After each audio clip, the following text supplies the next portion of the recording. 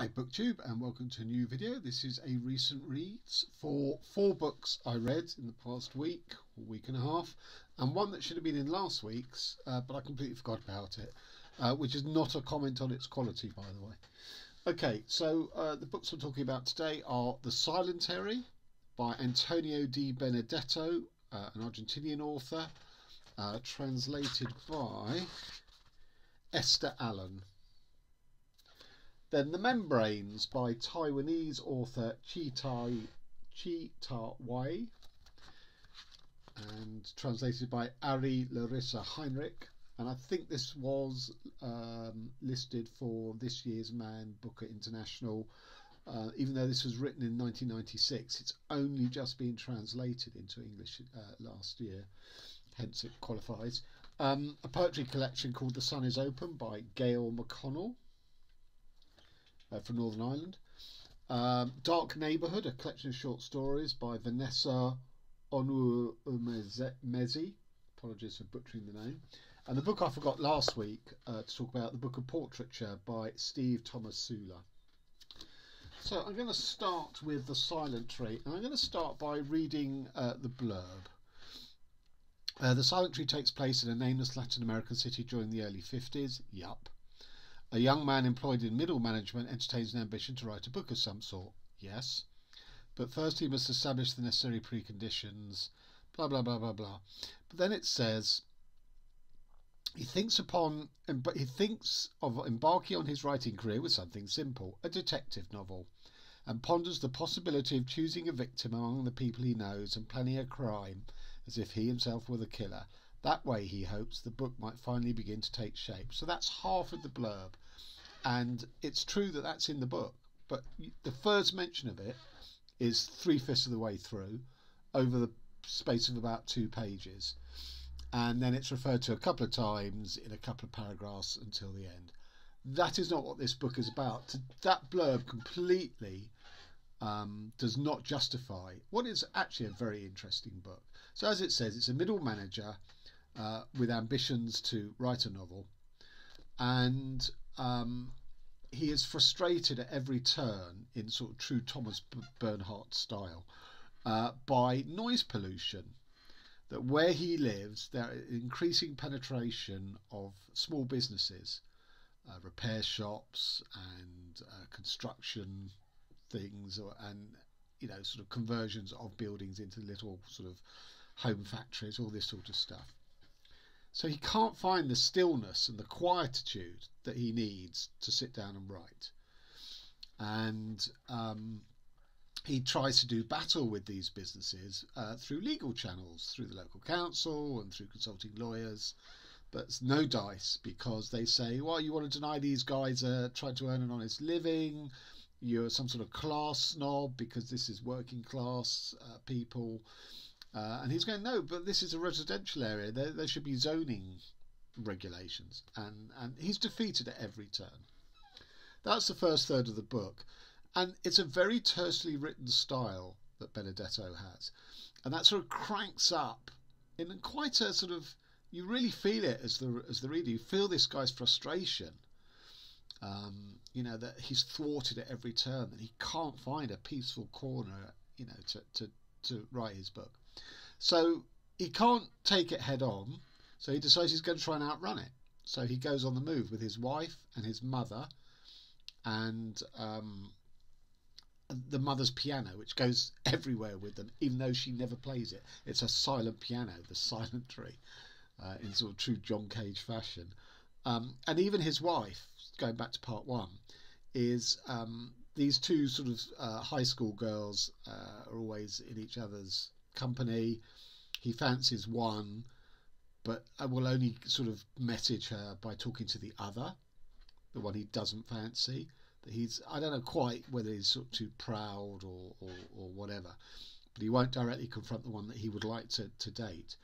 And when they're of an age, because he has no relationship with the one he'd like to date, but has a, a, talking relationship with the one that he doesn't, he ends up marrying that one. He ends up marrying the proxy, um, even though that's not that's not the you know his heart's desires, but because of his sort of self-imposed silence silence towards the other one, that's what he ends up doing.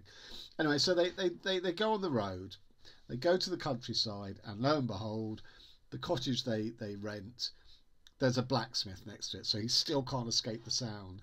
So they lead, they then lead a peripatetic existence, going from hotel to hotel to hotel, and there's always something interfering. And gradually, you realise that the silence and the stillness that he seeks is not being um, usurped and undermined by external factors, although there is noise pollution. But he can't find the inner stillness in himself, of course.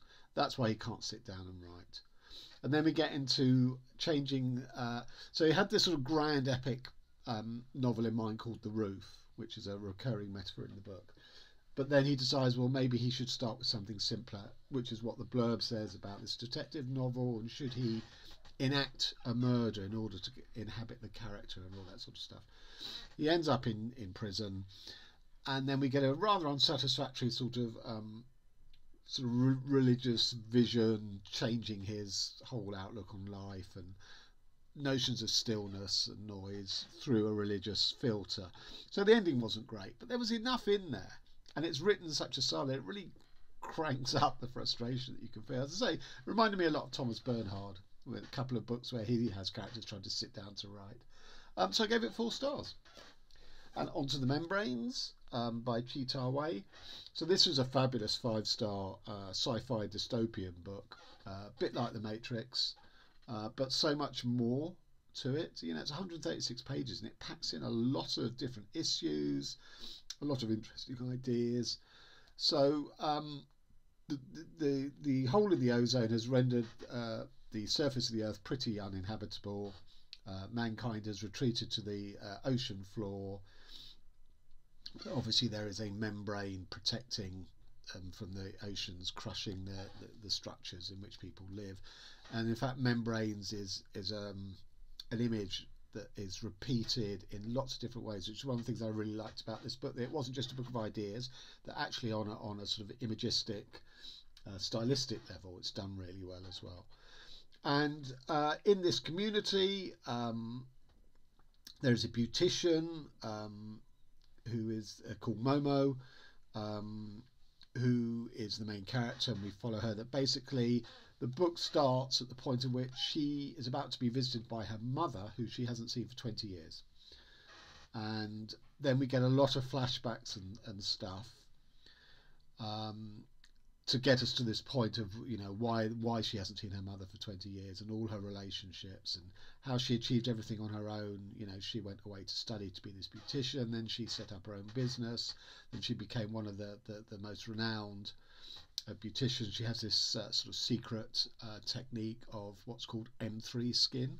Again another membrane where it's a layer of skin that goes over the body to sort of protect and to look beautiful um, and it gets peeled away once a week and replaced by another one.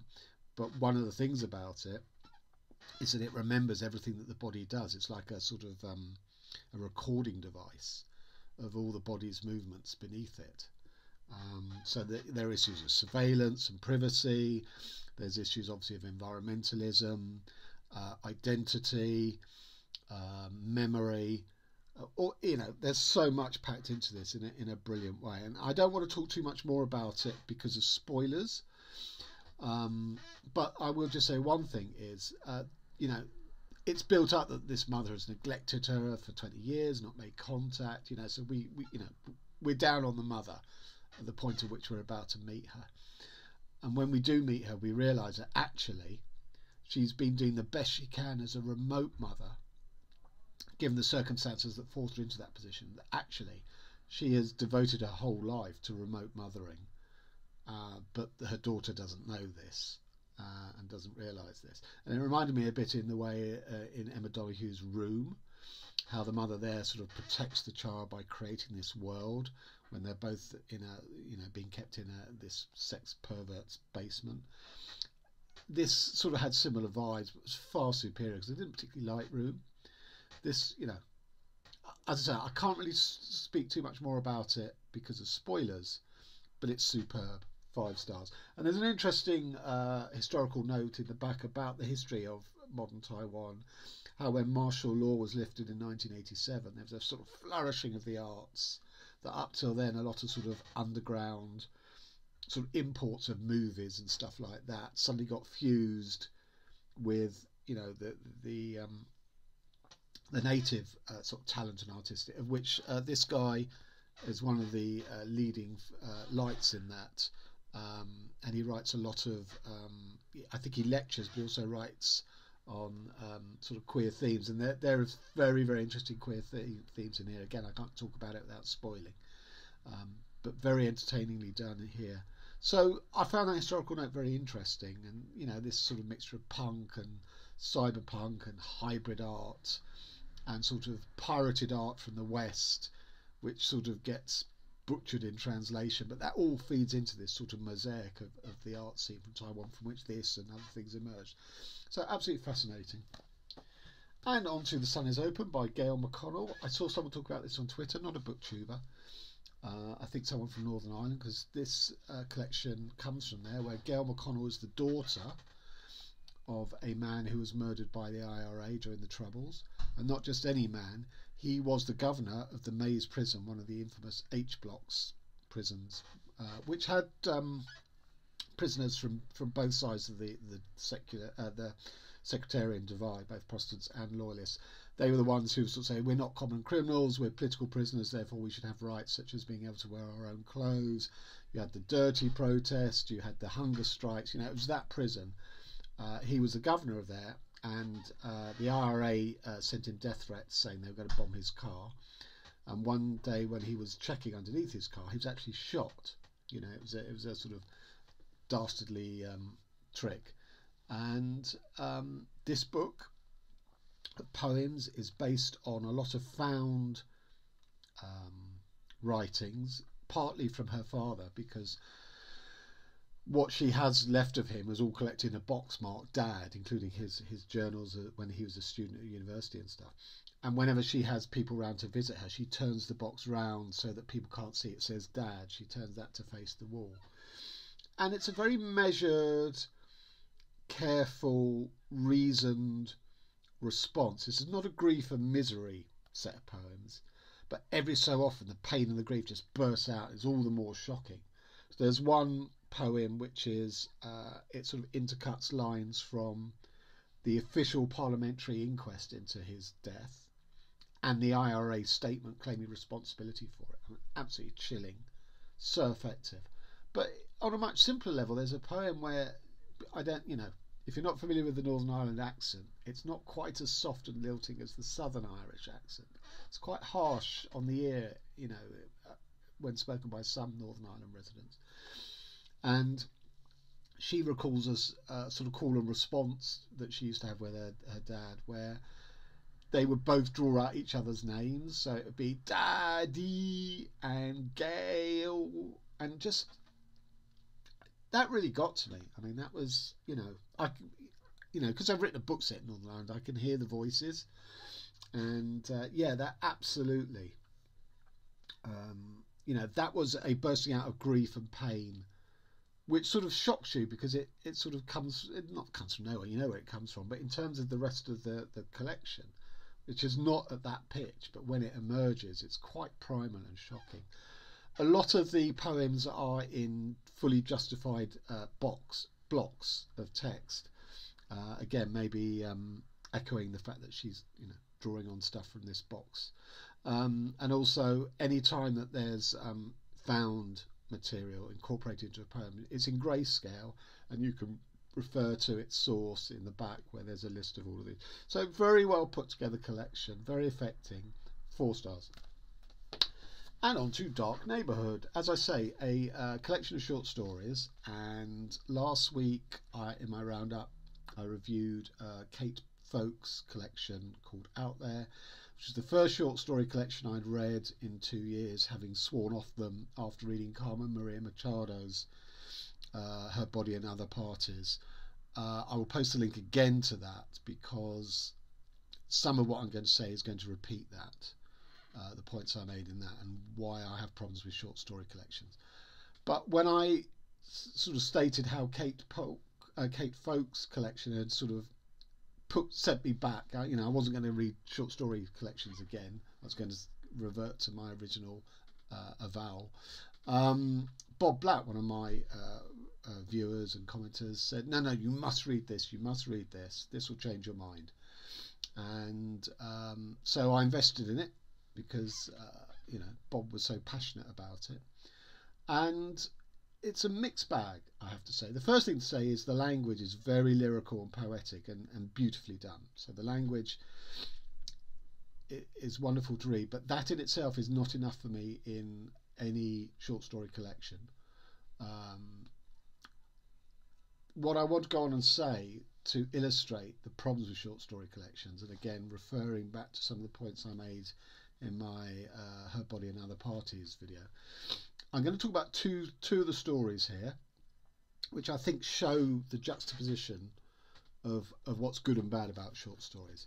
So the first one is called um, Green Afternoon, and starts and and um, Onwuemezi lives comes from London, lives in London.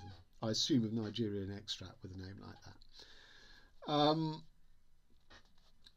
a, a protagonist uh, opens their front door to find uh, a dying boy in the garden. He's been stabbed, which, if you're not from England, there is an absolute epidemic of knife crime. We don't, you know, our sort of gangsters may use guns, but our youth gangs, on the whole, don't. I mean, guns are present, but it's much more endemic is knife crime.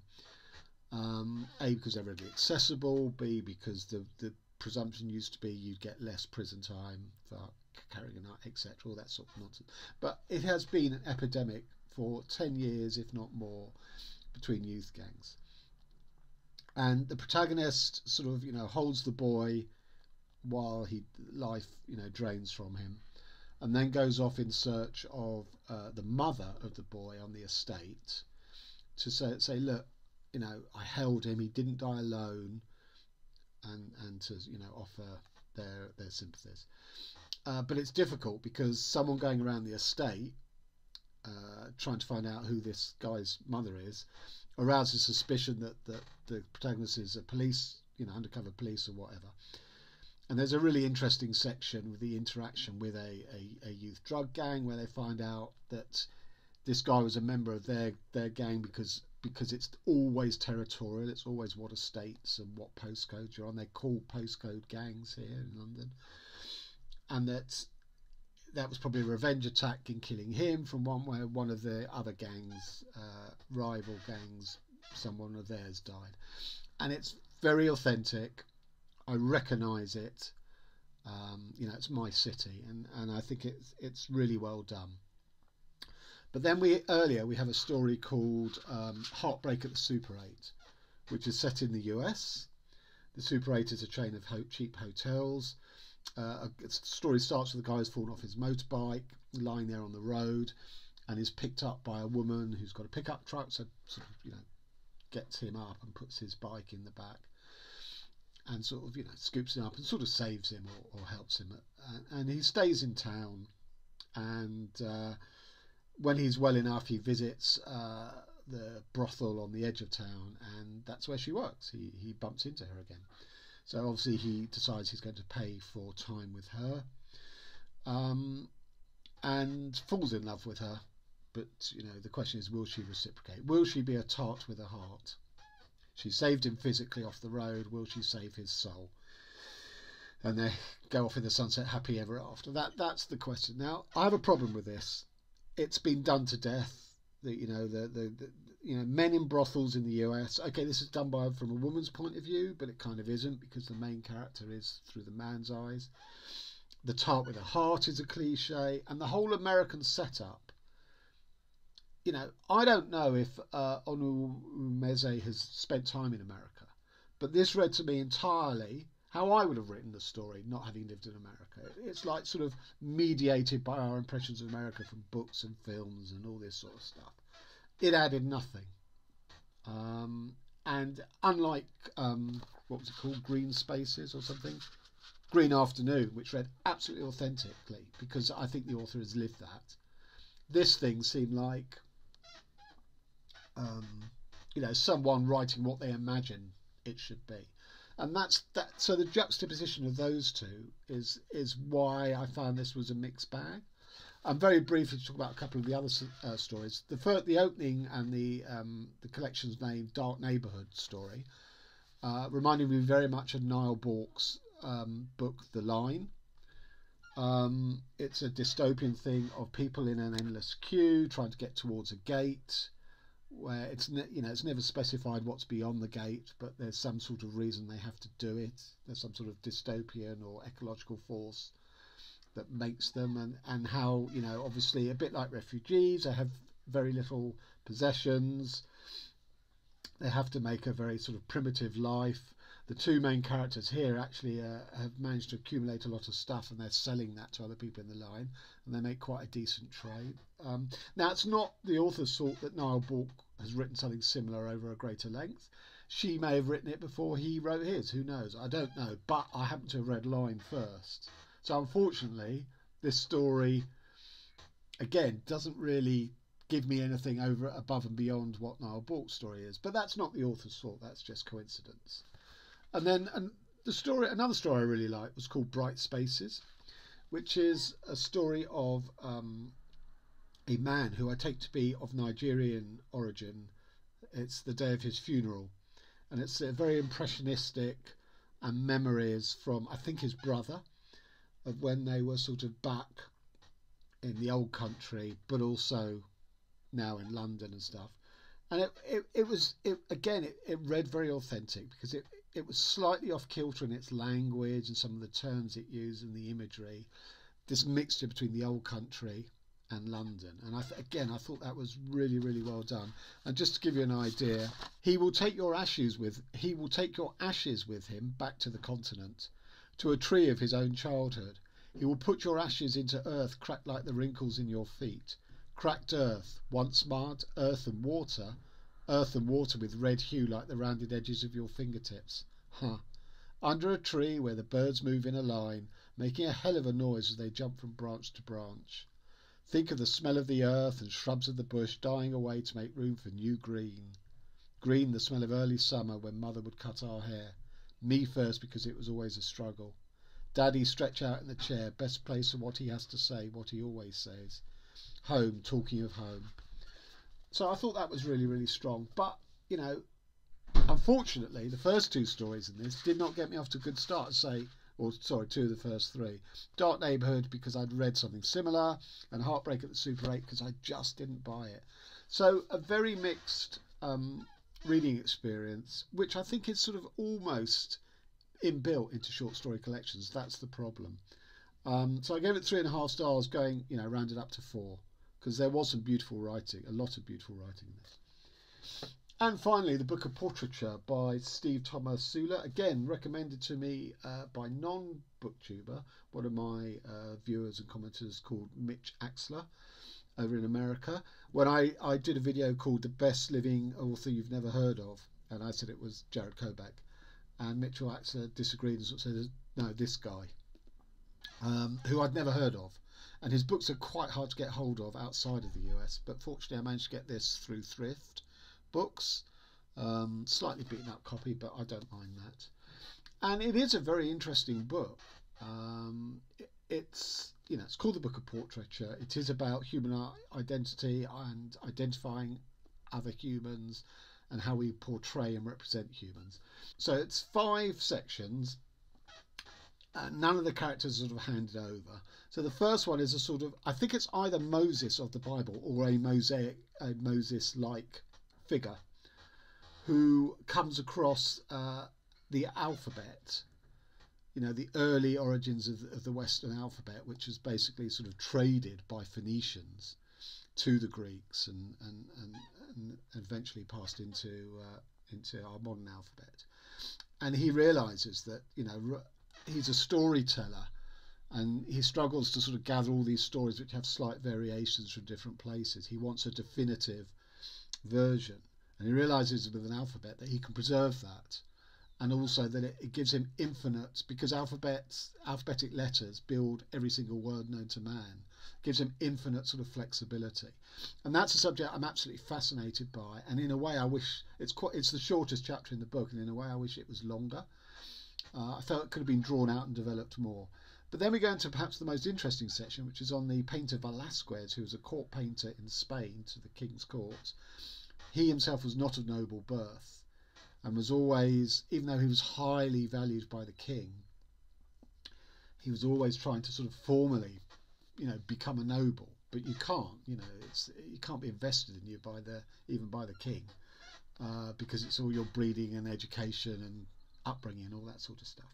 But there's a lot of really interesting stuff whereby at the time all painting had religious themes, which therefore devote, de, derive from the Bible, which is sort of set in stone. You know, you, you can't sort of deviate from that or you're being heretical. But he also wants to introduce elements of the real, of the life that he knows as a non noble. Um, so he's there's this tension he's always exploring between the literal rep, re, reproduction of things in the Bible, which itself is already full of symbols, full of parables, not a one to one correlation to reality. So there's this constant tension of a literal interpretation of something that's not literally observable in life. So he's obsessed with the nature of representation and symbol and image. And he's actually hauled up uh, before the Spanish Inquisition about some non literal images, such as uh, a dwarf, what he, what he called a dwarf, uh, which was very pertinent to him, you know, his own personal dreams and nightmares and persecutions, but has no doesn't derive from the Old Testament scene that he's or the New Testament scene that he's painting, and certain animals the same. So it's a really interesting um, uh, section. Then the next section is deriving the portrait of a person through psychoanalysis. So it's set in the early days of psychoanalysis, uh, an absolute Freudian with all the inbuilt misogyny. Uh, receives a patient who's a 28 year old woman who's not married, therefore she's diagnosed as a hysterical woman. And um, we get a very classical um, sort of case study, really, a, a la Freud, Wolfman or, or whatever. Um, but she's she's sort of made up this person persona that she's um, uh, giving him, uh, and eventually um, he penetrates that it that it's all a set of complete lies. So we, he thinks he's got to the hub of it, and that you know that he's getting closer to the truth of her. But actually, she's playing him, and it builds up to a really really funny conclusion, which I I I guess just before it was revealed, so it wasn't obvious, but it was you know you could see where it was heading, and it's very funny. It's a very you know subversive undermining of the whole Freudian shtick, but like you know that's that's not unique. Let's face it. Um, and then we get a chapter sort of multicast of characters about uh, again about the body. It's in the digital age. So one of the characters is a, is a fashion model, and how her body and face are always manipulated um, in the final edit, as it were. We get lots of stuff about surveillance. Uh, there's a security guard in a chain of um, pharmacies but he's you know he sets up the cameras and turns them so that he can basically be a voyeur. We get a woman who's suspicious of her husband, so she gets someone to hack his computer. So it's all it's building up all these portraits of lies and how they intersect and, and stuff, and was really well done, I thought. And then finally we get um, two uh, molecular biologists uh, in research. Uh, the woman's a lot older than the man. They're in a relationship with each other both sexual, but also there's a sort of mentor relationship there as well. Um, and the research they're doing in their lab, they also have to give over part of their time to reconstruct the DNA to hone in on the identities of people who died in 9/11, because you know they because of the sort of plane crashing into the towers and the massive explosion and fire, they didn't recover bodies. They recovered bits of human essence and it's only by um, through the DNA that they could identify some of those human remains. Um, so it's again, it's about um, portraiture, but here at the DNA level. So the book as a whole builds up this sort of inquiry, inquisition onto the changing nature of representation and portrayal of humanity. Um, I did think it was slightly uneven. It reminded me of the uh, that Benjamin Labatut uh, novel. Um, I can't remember exactly what it was called. Uh, the the one that went, went on, I think actually won the Man Booker International. Um, I thought each individual section was interesting in its own right, but I couldn't quite bring it all together because it was so divergent between historical periods and therefore the technology and even the diction of each chapter. Um, but it's definitely a lot of interesting ideas. Four stars. So that's what I've read. What I'm currently reading is The Public Burning, which is a buddy read with Courtney Ferreter and uh, Sina over at Books I'm Not Reading and um, that's by Robert Coover, by the way, and that's going to go on throughout May and possibly early June as well. We've only not checked in yet. Today's the first check-in day. And uh, this novel, Night as It Falls, by Jakuta Alikavazovic, a French author. This is her debut. I'm two thirds of the way through. I will either finish this today or tomorrow. And I first saw this on uh, Bob the Bookerist channel, and he asked if everyone else had read it, and um, I'm not sure that it's that well known, even though it only came out last year. Um, but I'm very glad Bob recommended it or brought it to my attention because I'm really enjoying it. Okay, uh, so there you have it. Thanks very much. Till next time.